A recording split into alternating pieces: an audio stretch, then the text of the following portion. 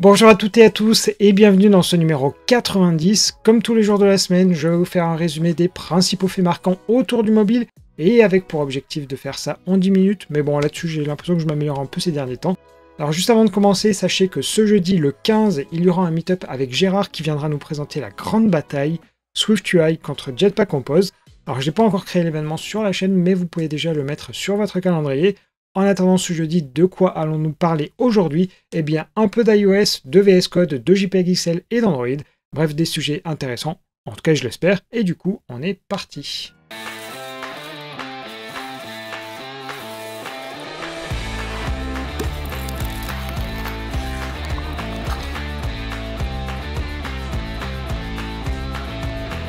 Pour commencer, l'avantage des iPhones est qu'Apple maîtrise à la fois le logiciel et le matériel, ce qui facilite notamment la propagation des mises à jour, contrairement à Android où ça peut prendre beaucoup de temps. Et des chiffres viennent de valider le phénomène puisqu'iOS 16 est sorti en septembre et s'approche désormais des 70% du parc ayant fait la migration, alors que du côté d'Android, la version 13 qui est sortie un mois plus tôt, c'est-à-dire en août, culmine à 2% selon des chiffres d'AppBrain. Mais bon, il faut toutefois contraster un peu ces chiffres, puisque côté Google, ils font en sorte de déployer les fonctionnalités sur d'anciennes versions, là où chez Apple, on est plus dans le confort de forcer les mises à jour. Et tiens d'ailleurs, à se parler d'iOS, vous vous souvenez qu'Apple avait pris pour exemple Uber pour le Dynamic Island et les Live Activities, c'est-à-dire les notifications dynamiques qui s'affichent sur l'écran de déverrouillage, mais jusqu'à présent ce n'était que des mock-ups, puisque ce n'est que depuis la semaine dernière que la fonctionnalité est disponible sur Uber et Uber Eats.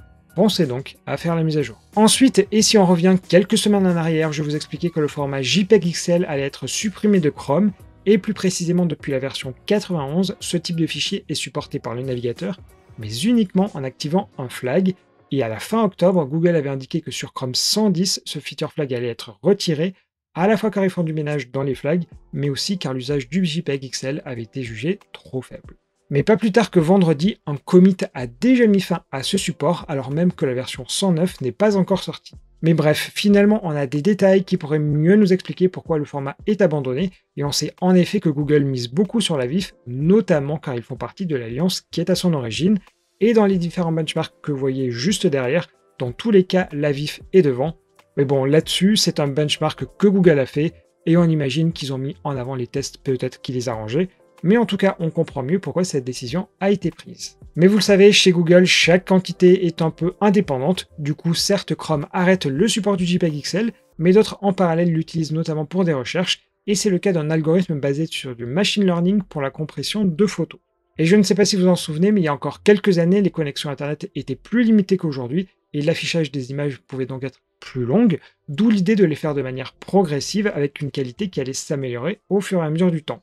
Sauf que ce type d'algo modifiait la qualité de la totalité de l'image. Et l'idée du fameux algo de compression basé sur l'IA est d'identifier les zones les plus pertinentes pour offrir une compression qui va d'abord privilégier les parties les plus importantes, puis terminer par le fond, par l'arrière-plan. Et dans cet exemple avec l'escargot, on voit d'abord que la coque y privilégiée avant de passer sur le corps, puis terminer par la Terre qui est autour. Bref, c'est pareil sur la montre où c'est le centre qui est privilégié avant de basculer sur les informations autour.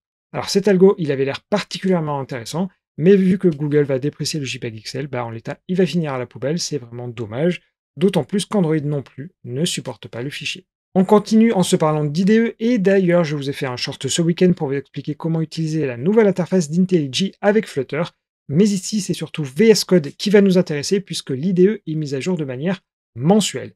Et vous savez qu'il est possible de faire tourner sur un serveur une instance de VS Code pour ensuite y accéder depuis son navigateur, et c'est notamment ultra simple de le faire avec un repo GitHub, puisqu'il suffit de réécrire l'URL en changeant le github.com par github1s.com, et automatiquement vous allez accéder au projet dans VS Code.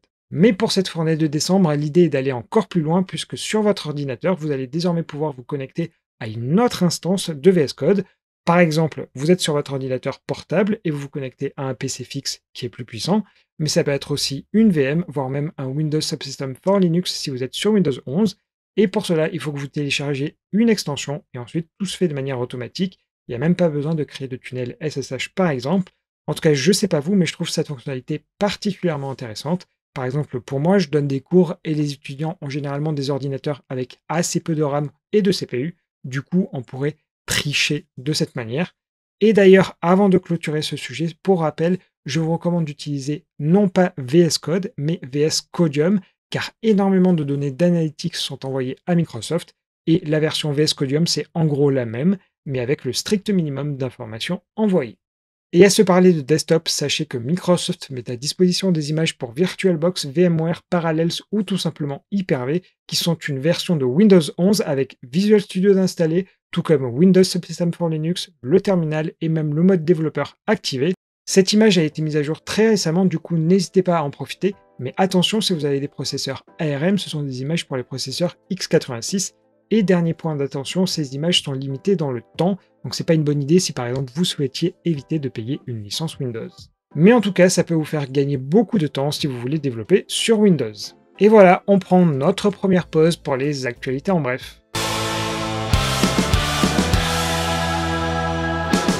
Ça y est, cette fois c'est sûr, le nouveau badge pour Twitter sera mis en place dès aujourd'hui à un tarif de 8$ par mois si acheté sur la version web ou 11$ si c'est sur iOS.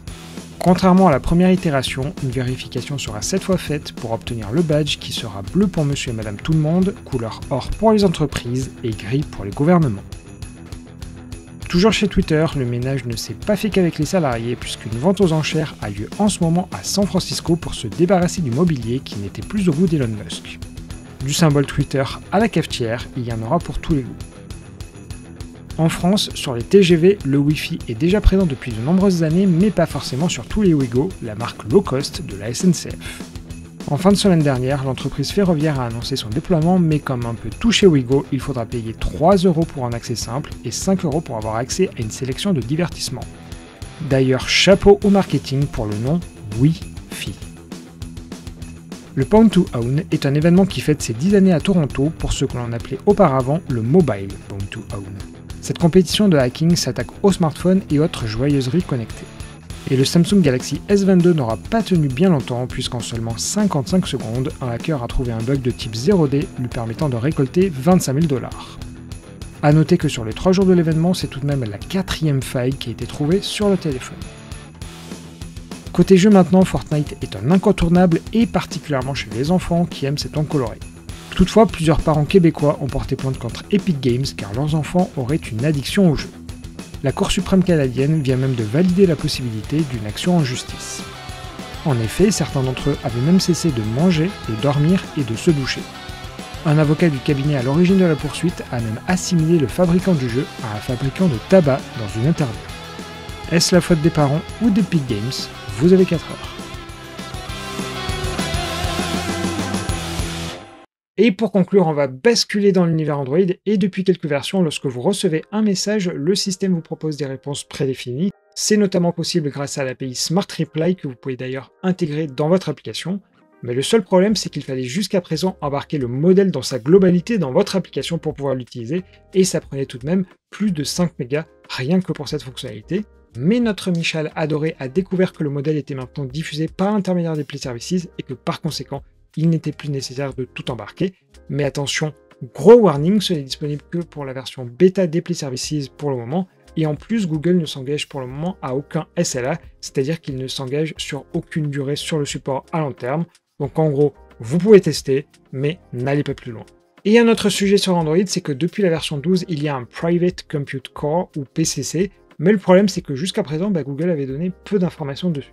Mais forcément, si je vous en parle, c'est qu'il y a du nouveau, et plus précisément le PCC, c'est un système qui permet de s'assurer que les données à l'intérieur sont sécurisées et manipulées uniquement en local, et c'est par exemple ici que sont traitées les données du GPS, de la caméra, du micro, et plus précisément en termes de fonctionnalité, c'est ici que les live captions sont traités, c'est-à-dire afficher des sous-titres automatiques en mode déconnecté, ou encore la fonctionnalité des pixels qui permet de savoir quelle musique est jouée à la façon de Shazam.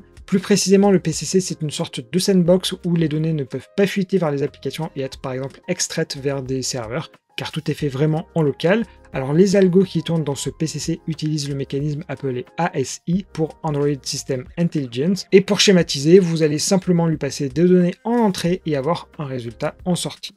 Mais comment mettre à jour les algos qui tournent dans ce PCC ben, Ça passe par le PCS pour Private Compute Services qui permet de faire un lien entre le PCC et Internet. Et ce canal de communication ne sert vraiment qu'à mettre à jour les algos et en aucun cas à transmettre des données vers l'extérieur. Pour schématiser, le PCC c'est donc une fonctionnalité pour garantir la vie privée plutôt que d'améliorer la sécurité.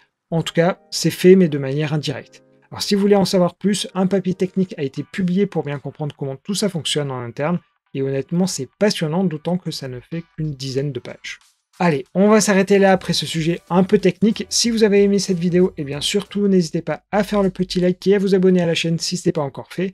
Pour ma part, je vous donne rendez-vous demain, mais attention, petite chose à savoir, ce sera un épisode enregistré d'avance vu que je ne suis pas chez moi aujourd'hui. Mais bon, vu qu'il y a plein d'actualités et que j'ai pas traité ce week-end, rassurez-vous, ce ne sera pas des vieux dossiers que je vais sortir. D'ailleurs, pour info, je donne une petite présentation à Mulhouse ce soir, donc si toutefois vous êtes dans le coin, bah, n'hésitez pas à passer. Allez, sur ce, je vous souhaite à tous une bonne journée et vu qu'en Noël approche, j'imagine que des congés aussi. En tout cas, rendez-vous demain, même heure et même endroit.